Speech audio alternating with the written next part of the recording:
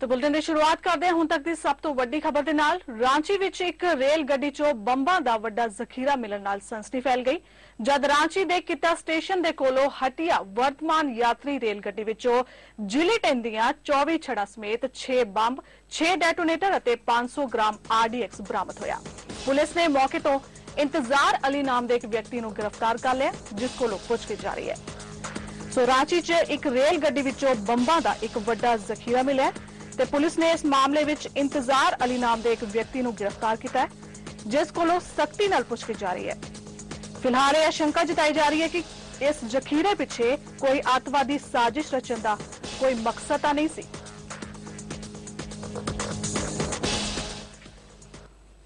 ਵੱਧਦੇ ਅਗਲੀ ਖਬਰ ਵੱਲ। ਪਾਕਿਸਤਾਨ ਨਾਲ ਜੁੜੀਆਂ ਭਾਰਤੀ ਫਿਲਮਾਂ ਕਦੇ ਨਾ ਕਦੇ ਰਾਜਨੀਤਿਕ ਪਚੜੇ 'ਚ ਜ਼ਰੂਰ ਫਸਦੀਆਂ ਨੇ। ਇਸ ਲੜੀ ਅਧੀਨ ਨਵੀਂ ਫਿਲਮ ਫੈਟਮ ਨੂੰ ਪਾਕਿਸਤਾਨ ਦੀ ਲਾਹੌਰ ਹਾਈ ਕੋਰਟ ਨੇ ਪਾਕਿਸਤਾਨ ਵਿੱਚ ਵਿਖਾਉਣ ਤੇ ਰੋਕ ਲਗਾ ਦਿੱਤੀ ਹੈ। ਜਮਾਤ ਉਦ ਦਾਵਾ ਦੇ ਪ੍ਰਮੁੱਖ ਹਾਫਿਜ਼ ਸੈਯਦ ਨੇ ਫੈਟਮ ਤੇ ਰੋਕ ਲਾਉਣ ਦੀ ਅਪੀਲ ਕੀਤੀ ਸੀ। ਹਾਫਿਜ਼ ਸੈਯਦ ਮੁਤਾਬਿਕ ਮੁੰਬਈ ਹਮਲੇ ਤੇ ਬਣੀ ਇਸ ਫਿਲਮ ਨਾਲ ਉਸ ਵਿਰੁੱਧ ਕੂੜ ਪ੍ਰਚਾਰ ਕੀਤਾ ਜਾ ਰਿਹਾ ਹੈ। ਇਸ ਅਪੀਲ ਤੇ ਸੁਣਵਾਈ ਕਰਦਿਆਂ ਲਾਹੌਰ ਹਾਈ ਕੋਰਟ ਦੇ ਜੱਜ ਜਸਟਿਸ ਸ਼ਾਇਦ ਬਿਲਾਲ ਹਸਨ ਨੇ ਇਸ ਫਿਲਮ ਤੇ ਬੈਨ ਲਗਾ ਦਿੱਤਾ ਹੈ।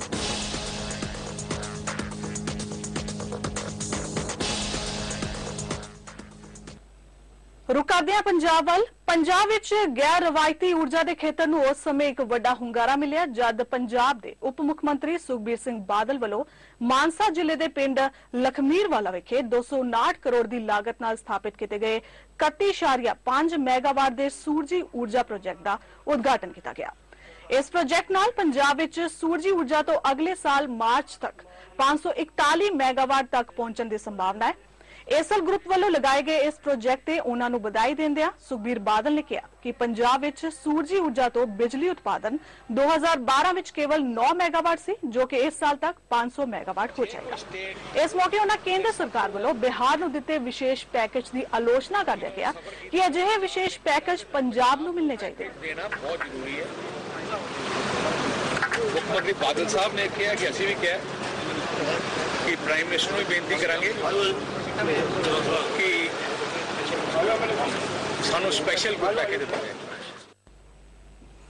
ਬਠਿੰਡਾ ਵਿਜੀਲੈਂਸ ਪੁਲਿਸ ਨੂੰ ਉਸ ਵੇਲੇ ਵੱਡੀ ਕਾਮਯਾਬੀ ਮਿਲੀ ਜਦੋਂ ਇਥੋਂ ਦੀ ਵਿਸ਼ੇਸ਼ ਟੀਮ ਨੇ ਬਠਿੰਡਾ ਦੇ ਨਾਇਬ ਤਹਿਸੀਲਦਾਰ ਸੁਭਾਸ਼ ਮਿੱਤਲ ਨੂੰ ਰਿਸ਼ਵਤ ਲੈਂਦਿਆਂ ਰੰਗੇ ਹੱਥੀ ਕਾਬੂ ਕਰ ਲਿਆ।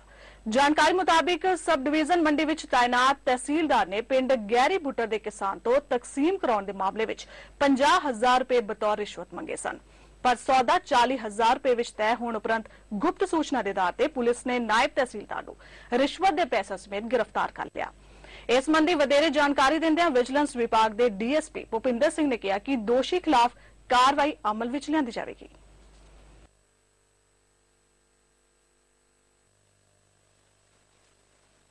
ਸੇ ਦਰਸ਼ਨ ਸਿੰਘ ਫੰਕਸ਼ਨਲ ਮੈਨੇਜਰ ਤੇ ਅਸ਼ੋਕ ਕੁਮਾਰ ਗਰਗ ਪ੍ਰੋਜੈਕਟ ਅਫਸਰ ਨੇ ਜ਼ਿਲ੍ਹਾ ਉਦਯੋਗ ਕੇਂਦਰ ਬਠਿੰਡਾ ਤੋਂ ਉਹਨਾਂ ਨੂੰ ਬਤੌਰ ਸਰਕਾਰੀ ਗਵਾਹ ਨਾਲ ਲੈ ਕੇ ਤੇ ਉਹਨੂੰ ਰੱਗੇ ਹੱਥੀਂ ਅਸੀਂ ਫੜ ਲਿਆ। ਉਹ ਜਿਹੜਾ ਨਾਇਬ ਸੀਲਰ ਸ਼ਿਵਾਜ ਸਿੰਘ ਮਿੱਤਲ ਆਪਣੀ ਕਾਰ ਦੇ ਵਿੱਚ ਪੈਸੇ ਲੈ ਕੇ, ਰਿਸ਼ਵਤ ਦੇ ਪੈਸੇ ਤੋਂ ਲੈ ਕੇ ਤੇ ਭੱਜਣ ਦੀ ਕੋਸ਼ਿਸ਼ ਕਰ ਰਿਹਾ ਸੀ ਤੇ ਵਿਜੀਲੈਂਸ ਪਾਰਟੀ ਨੇ ਕਾਰ ਅੱਗੇ ਲਾ ਲਈ ਇੱਕ ਪਿੱਛੇ ਲੈ ਕੇ ਤੋਂ ਕਾਬੂ ਕਰ ਲਿਆ। ਰੁਕ ਕਰਦੇ ਅਗਲੀ ਖਬਰ ਵੱਲ। ਪਠਾਨਕੋਟ ਵਿੱਚ ਉੱਤਰੀ ਰੇਲਵੇ ਮੈਸ ਯੂਨੀਅਨ ਨੇ ਰੇਲਵੇ ਗੈਸਟ ਹਾਊਸ ਦੇ ਬਾਹਰ ਜ਼ੋਰਦਾਰ ਪ੍ਰਦਰਸ਼ਨ ਕੀਤਾ। ਇਸ ਮੌਕੇ ਪ੍ਰਦਰਸ਼ਨਕਾਰੀਆਂ ਨੇ ਸੀਨੀਅਰ ਅਧਿਕਾਰੀਆਂ ਨੂੰ ਸਾਰਾ ਦਿਨ ਗੈਸਟ ਹਾਊਸ ਵਿੱਚ ਬੰਦ ਰੱਖਿਆ। ਪੱਤਰਕਾਰਾਂ ਨਾਲ ਗੱਲਬਾਤ ਕਰਦਿਆਂ ਮੁਜ਼ਾਹਰਾਕਾਰੀਆਂ ਨੇ ਦੱਸਿਆ ਕਿ ਫਿਰੋਜ਼ਪੁਰ ਮੰਡਲ ਦੇ ਡੀਆਰਐਮ ਕਰਮਚਾਰੀਆਂ ਨਾਲ ਠੀਕ ਵਿਹਾਰ ਨਹੀਂ ਕਰਦੇ। ਉਹਨਾਂ ਕਿਹਾ ਕਿ ਵਿਭਾਗ ਵੱਲੋਂ ਉਹਨਾਂ ਦੇ ਕੁੱਲ ਸਾਥੀਆਂ ਵਿਰੁੱਧ ਨਜਾਇਜ਼ ਚਾਰਜਸ਼ੀਟਾਂ ਕੀਤੀਆਂ ਗਈਆਂ ਨੇ, ਜਿਸ ਦੇ ਵਿਰੋਧ ਵਿੱਚ ਇਹ ਕਾਰਵਾਈ ਅਮਲ ਵਿੱਚ ਲਿਆਂਦੀ ਗਈ ਹੈ। ਉਹਨਾਂ ਕਿਹਾ ਕਿ ਮੰਗਾਂ ਨਾ ਮੰਨੇ ਜਾਣ ਦੀ ਸੂਰਤ ਵਿੱਚ ਸੰਘਰਸ਼ ਹੋਰ ਤੇਜ਼ ਕੀਤਾ ਜਾਏਗਾ।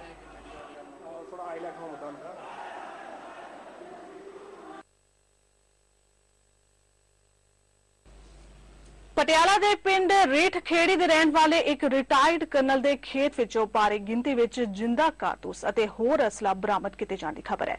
ਇਸ ਅਸਲੇ ਦੀ ਗੁਪਤ ਸੂਚਨਾ ਥਾਣਾ ਸਦਰ ਪਟਿਆਲਾ ਦੇ ਇੰਸਪੈਕਟਰ ਜਸਵਿੰਦਰ ਸਿੰਘ ਟਿਵਾੜਾ ਨੂੰ ਮਿਲੀ। ਪੁਲਿਸ ਦੇ ਸੀਨੀਅਰ ਅਧਿਕਾਰੀਆਂ ਨੂੰ ਇਸ ਦੀ ਸੂਚਨਾ ਮਿਲਣ ਤੇ ਪੁਲਿਸ ਤੁਰੰਤ ਹਰਕਤ ਵਿੱਚ ਆਈ। ਪੁਲਿਸ ਦੇ ਸੀਨੀਅਰ ਅਧਿਕਾਰੀਆਂ ਵਿੱਚ ਐਸਐਸਪੀ ਗੁਰਪ੍ਰੀਤ ਸਿੰਘ ਚੌਹਾਨ ਐਸਪੀਡੀ ਜਸਕਿਰਨਜੀਤ ਸਿੰਘ ਤੇਜਾ ਤੋਂ ਇਲਾਵਾ ਪੁਲਿਸ ਦੇ ਹੋਰ ਸੀਨੀਅਰ ਅਧਿਕਾਰੀ, ਥਾਣਾ ਸਦਰ ਦੇ ਇੰਸਪੈਕਟਰ ਜਸਵਿੰਦਰ ਸਿੰਘ ਟਿਵਾਣਾ ਅਤੇ ਆਰਮੀ ਦੇ ਇੱਕ ਕਰਨਲ ਤੋਂ ਇਲਾਵਾ ਹੋਰ ਵੀ ਆਰਮੀ ਦੇ ਅਧਿਕਾਰੀ ਉੱਥੇ ਹਾਜ਼ਰ ਸਨ।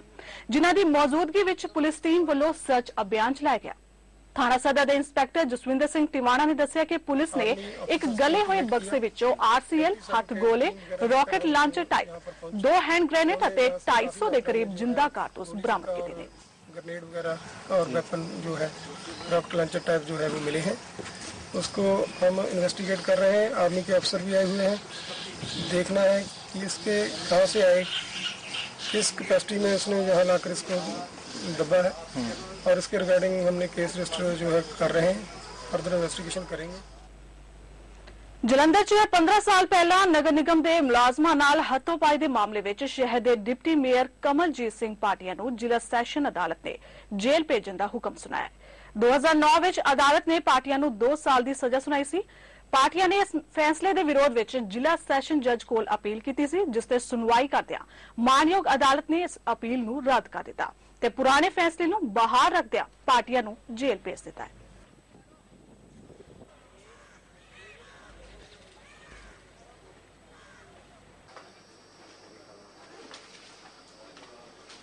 ਟ੍ਰਾਇਲ ਚੱਲਿਆ ਸੀਗਾ ਤੇ ਲੋਅਰ ਕੋਰਟ ਜੁਡੀਸ਼ੀਅਲ ਮੈਜਿਸਟ੍ਰੇਟ ਸਾਹਿਬ ਨੇ 2 ਸਾਲ ਦੀ ਸਜ਼ਾ ਕੀਤੀ ਸੀ ਸਾਲ 2009 ਦੇ ਵਿੱਚ।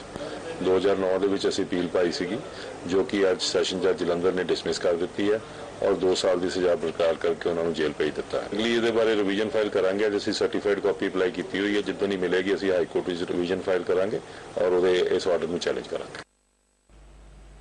ਸਮਾਣਾ ਦੇ ਨੇੜਲੇ ਪਿੰਡ ਰੰਦਾਵਾ 'ਚ ਉਦੋਂ ਸੋਗ ਦੀ ਲਹਿਰ ਦੌੜ ਗਈ, ਜਦੋਂ ਛੱਪੜ 'ਚ ਮੱਝਾਂ ਨੂੰ ਪਾਣੀ ਪਿਆਉਣ ਗਏ ਇੱਕ ਵਿਅਕਤੀ ਤੇ ਉਸ ਦੇ ਦੋ ਭਤੀਜਿਆਂ ਦੀ ਛੱਪੜ ਵਿੱਚ ਡੁੱਬਣ ਕਾਰਨ ਮੌਤ ਹੋ ਗਈ। ਜਾਣਕਾਰੀ ਮੁਤਾਬਿਕ ਪਾਲਾ ਸਿੰਘ ਜੋ ਦੁੱਧ ਵੇਚ ਕੇ ਗੁਜ਼ਾਰਾ ਕਰਦਾ ਸੀ, ਛੱਪੜ ਦੇ ਮੱਝਾਂ ਨੂੰ ਪਾਣੀ ਪਿਆਉਣ ਗਿਆ, ਪਰ ਮੱਝਾਂ ਛੱਪੜ ਦੇ ਦੂਜੇ ਪਾਸੇ ਜਾਣ ਲੱਗੀਆਂ। ਉਹਨਾਂ ਨੂੰ ਮੋੜਨ ਲਈ ਉਹ ਜਿਉਂ ਹੀ ਬੱਚਿਆਂ ਸਮੇਤ ਪਾਣੀ ਵਿੱਚ ਉਤਰਿਆ ਤਾਂ ਉਹ ਪਾਣੀ ਵਿੱਚ ਡੁੱਬ ਗਿਆ, ਜਿਸ ਨਾਲ ਤਿੰਨਾਂ ਦੀ ਮੌਤ ਹੋ ਗਈ।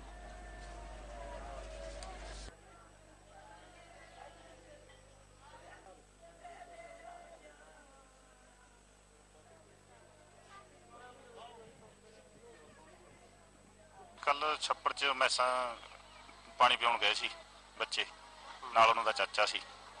ਛੱਪੜ 'ਚੋਂ ਪਾਰ ਕਰ ਗਈਆਂ ਮੈਸਾਂ ਮਗਰ ਮੈਂ ਜਾਂਦੇ ਜਾਂਦੇ ਟੋਏ 'ਚ ਪੈਰ ਪੈ ਗਿਆ ਤੇ ਉਹਦੇ 'ਚ ਉਹਨਾਂ ਨੂੰ ਪਤਾ ਨਹੀਂ ਲੱਗਿਆ ਡੁੱਬ ਗਏ ਨੇ ਬਸ। ਤਿੰਨੇ ਕੋ ਨਾਲ ਡੁੱਬ ਗਏ ਕਿਵੇਂ ਕਿ ਇਕੱਲੇ ਇਕੱਲੇ ਡੁੱਬੇ ਹੋ ਇਹ ਤਿੰਨੇ ਇਕੱਠੇ ਸੀ ਜੀ ਇੱਕ ਦੂਜੇ ਦੇ ਬੱਚਿਆਂ ਦੋਵਾਂ ਨੇ ਬਾਹਾਂ ਫੜੀਆਂ ਹੋਈਆਂ ਸੀ ਉਹਨਾਂ ਦੀ ਤੇ ਜਿਹੜਾ ਚਾਚਾ ਸੀ ਉਹਨਾਂ ਦਾ ਉਹ ਲੈ ਕੇ ਜਾ ਰਿਹਾ ਸੀ। ਪਟਿਆਲਾ ਮੈਨੇਜਮੈਂਟ ਵੱਲੋਂ ਥਾਪਰ ਕਾਲਜ ਦੇ ਐਸਸੀ ਹਾਲ ਵਿੱਚ ਇੱਕ ਸੈਮੀਨਾਰ ਦਾ ਆਯੋਜਨ ਕੀਤਾ ਗਿਆ। ਇਸ ਸੈਮੀਨਾਰ ਦੇ ਸਪੀਕਰ ਸ਼੍ਰੀਮਤੀ ਬਿੱਟੂ ਸੈਫੀਨਾ ਸੰਧੂ ਸਨ। ਇਸ ਸੈਮੀਨਾਰ ਦਾ ਵਿਸ਼ਾ ਮਨੁੱਖ ਵਿਚਲੀ ਬੋਲਚਾਲ ਦੀ ਕਲਾ ਸੀ। ਇਸ ਮੌਕੇ ਆਏ ਹੋਏ ਪਤਵੰਤਿਆਂ ਨੇ ਆਪਣੇ ਨਿੱਜੀ ਤਜਰਬੇ ਬਿਆਨ ਕੀਤੇ। ਉਥੇ ਉਹਨਾਂ ਬੋਲਚਾਲ ਦੀ ਕਲਾ ਨੂੰ ਸੰਵਾਰਨ ਦੇ ਗੁਰ ਵੀ ਦੱਸੇ। ਇਸ ਮੌਕੇ ਆਏ ਹੋਏ ਲੋਕਾਂ ਨਾਲ ਵੀ ਸਵਾਲ ਜਵਾਬ ਕੀਤੇ ਗਏ। ਚੜ੍ਹਦੀ ਕਲਾ ਗਰੁੱਪ ਦੇ ਡਾਇਰੈਕਟਰ ਸਰਦਾਰ ਜਗਜੀਤ ਸਿੰਘ ਦੱਦੀ ਅਤੇ ਡਾਕਟਰ ਇੰਦਰਪ੍ਰੀਤ ਕੌਰ ਨੇ ਉਚੇਚੇ ਤੌਰ ਤੇ ਸ਼ਿਰਕਤ ਕੀਤੀ। ਪ੍ਰੈਸ ਸਕੱਤਰ ਇੰਦਰਪ੍ਰੀਤ ਸਿੰਘ ਨੇ ਕਿਹਾ ਕਿ ਸੰਸਥਾ ਵੱਲੋਂ ਅਜਿਹੇ ਪ੍ਰੋਗਰਾਮ ਸਮੇਂ-ਸਮੇਂ ਸਿਰ ਕਰਵਾਏ ਜਾਣੇ ਚਾਹੀਦੇ।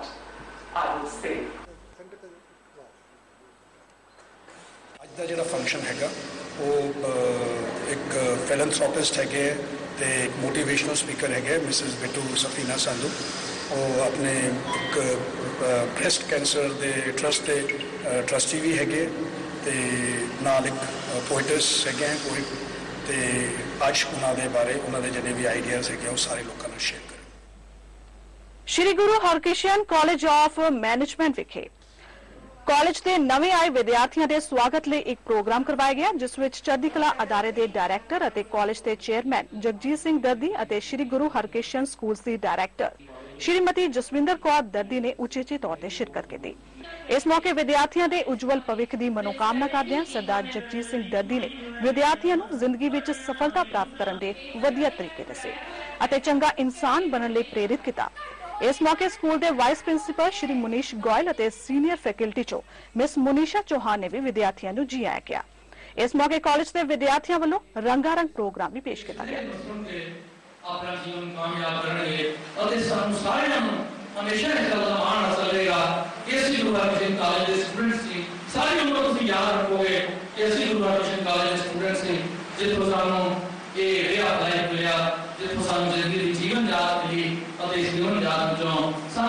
ਸਾਨੂੰ ਸਾਰੀ ਉਮਰ ਸੁਖ ਮਿਲਦਾ ਰਹੇਗਾ ਸਾਰੀ ਉਮਰ ਸਾਡੇ ਬੱਚਿਆਂ ਨੂੰ ਸੁਖ ਮਿਲਦਾ ਰਹੇਗਾ ਸਾਰੀ ਉਮਰ ਸਾਡੇ ਪਰਿਵਾਰਾਂ ਨੂੰ ਸੁਖ ਮਿਲਦਾ ਰਹੇਗਾ ਸਾਨੂੰ ਭਟਕਣ ਦੀ ਲੋੜ ਨਹੀਂ ਸਾਨੂੰ ਕਿਤੇ ਇਹਦੇ ਪਿੱਛੇ ਦੇਖਣ ਦੀ ਲੋੜ ਨਹੀਂ ਸਾਨੂੰ ਇੱਕ ਲਾਈਟ ਹਾਊਸ ਗੁਰੂ ਗ੍ਰੰਥ ਸਾਹਿਬ ਦੇ ਰੂਪ ਵਿੱਚ ਗਿਆਨ ਦਾ ਸਾਗਰ ਗਿਆਨ ਦਾ ਸੋਮਾ ਨੌਲੇਜ ਸੱਚੀ ਨੌਲੇਜ ਜਿਹੜੀ ਉਹਦੇ ਝੂਠੀ ਨਹੀਂ ਹੋ ਸਕਦੀ ਨਾ ਕਦੇ ਝੂਠੀ ਹੋਈ ਹੈ ਨਾ ਕਦੇ ਗਲਤ ਹੋਏਗੀ ਅਸੀਂ ਉਸ ਨੌਲੇਜ ਨੂੰ ਮੰਨਣ ਵਾਲੇ ਇੱਕ ਸਟੂਡੈਂਟ ਹਾਂ ਸਿੱਖ ਹਾਂ ਤੇ ਸਾਨੂੰ ਹਮੇਸ਼ਾ ਹਮੇਸ਼ਾ ਪ੍ਰਭੂ ਪਰਮਾਤਮਾ ਦੀ ਅਸੀਸ ਲਈ ਇਸ ਨੌਲੇਜ ਤੋਂ ਮਿਲਦੀ ਰਹੇਗੀ ਅਸੀਂ ਬੁਰੇ ਕੰਮ ਨਹੀਂ ਕਰਾਂਗੇ ਨਸ਼ੇ ਨਹੀਂ ਕਰਾਂਗੇ ਅਤੇ ਹੋਰ ਬੁਰੀਆਂ ਆਦਤਾਂ ਛੱਡ ਕੇ ਅਸੀਂ ਹਰ ਰੋਜ਼ ਨਵੀਂ ਪ੍ਰੇਰਨਾ ਨਵੀਂ ਸ਼ਕਤੀ ਲੈ ਕੇ ਇਸ ਬਾਣੀ ਵਿੱਚੋਂ ਬਾਣੀ ਨੂੰ ਪਿਆਰ ਨਾਲ ਪੜ੍ਹ ਕੇ ਜਾਵਾਂਗੇ ਸਾਡਾ ਜੀਵਨ ਇਹ ਵੀ ਅਤੇ ਅਗਲਾ ਵੀ ਸਾਰਾ ਸੁਖੀ ਹੋਵੇਗਾ ਬਹੁਤ ਬਹੁਤ ਧੰਨਵਾਦ ਤੁਸੀਂ ਬੜੇ ਧਿਆਨ ਨਾਲ ਮੇਰੀਆਂ ਗੱਲਾਂ ਨੂੰ ਸੁਣਿਆ ਫਿਰ ਜਦੋਂ ਕਦੇ ਅਪਰਚੂਨਿਟੀ ਆਇਆ ਕਰੀ ਮੈਂ ਜ਼ਰੂਰ ਤੁਹਾਨੂੰ ਮਿਲਣ ਆਇਆ ਕਰਾਂਗਾ ਤੁਹਾਡੇ ਨਾਲ ਗੱਲਾਂ ਕਰਕੇ ਮੈਨੂੰ ਬਹੁਤ ਅੱਛਾ ਲੱਗਿਆ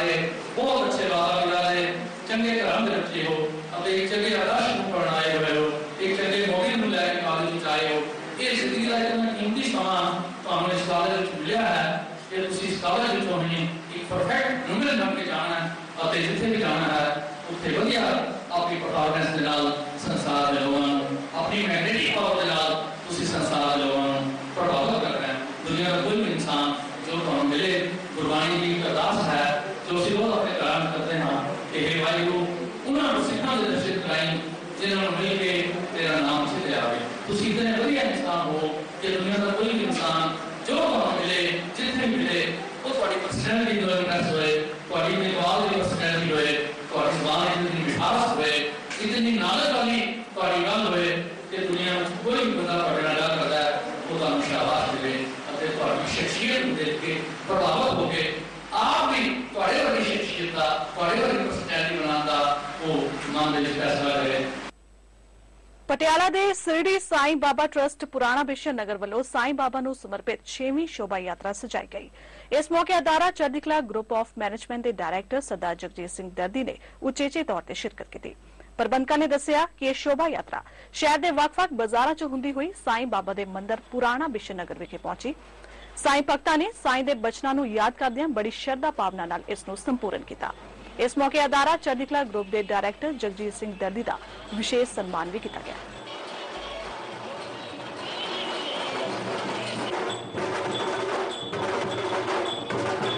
ਛੇਵਾਂ ਵਾਰਸ਼ਿਕ ਮਹੋਤਸਵ ਮਨਾ ਰਿਹਾ। ਮੰਦਰ ਦਾ ਛੇਵਾਂ ਵਰਸ਼ ਇਸ ਉਪਲਕਸ਼ 'ਚ ਸਾਰੇ ਸ਼ਹਿਰ 'ਚ ਇੱਕ ਸਾਈਂ ਪਾਲਕੀ ਨਿਕਾਲੀ ਜਾ ਰਹੀ ਹੈ ਜੋ ਮੰਦਰ ਤੇ ਸਟਾਰਟ ਹੋਗੀ ਵਿਕਾਸ ਕਲੋਨੀ ਆਰੀਆ ਸਮਾਜ ਦਰਵੇਣੀ ਚੌਕ ਅਨਾਰਦਾਨਾ ਏ ਟੈਂਕ ਸਦਰ ਬਾਜ਼ਾਰ ਤੋਂ ਹੋकर ਚੰਦੀ ਬਾਜ਼ਾਰ ਤੋਂ ਹੁੰਦੇ ਹੋਏ ਮੰਦਰ 'ਚ ਸੰਪੰਨ ਹੋਏਗੀ ਔਰ ਇਸ 'ਚ ਲੰਗਰ ਰੱਖਿਆ ਗਿਆ ਉਸਕੇ ਬਾਅਦ ਔਰ ਇਸੇ ਉਪਲਕਸ਼ 'ਚ ਅਹ 22 8 22 ਅਗਸਤ ਨੂੰ ਸ਼ਿਵਾਲਿਕ ਪਬਲਿਕ ਸਕੂਲ ਦੇ ਸਾਹਮਣੇ ਇੱਕ ਵਿਸ਼ਾਲ ਸਾਈ ਸੰਧਿਆ ਰੱਖੀ ਗਈ ਹੈ ਜਿਸ ਵਿੱਚ ਪੰਕਜ ਰਾਜ ਦਿੱਲੀ ਵਾਲੇ ਪ੍ਰੋਗਰਾਮ ਦੇਣ ਵਾਸਤੇ ਫਿਲਹਾਲ ਇਸ ਬੁਲਟਨ 'ਚ ਇੰਨਾ ਹੀ। ਅਗਲੇ ਬੁਲਟਨ 'ਚ ਫਿਰ ਹਾਜ਼ਰ ਹੋਵਾਂਗੇ ਕੁਝ ਹੋਰ ਖਾਸ ਖਬਰਾਂ ਦੇ ਨਾਲ। ਤਦ ਤੱਕ ਲਈ ਦਿਓ ਇਜਾਜ਼ਤ। ਧੰਨਵਾਦ।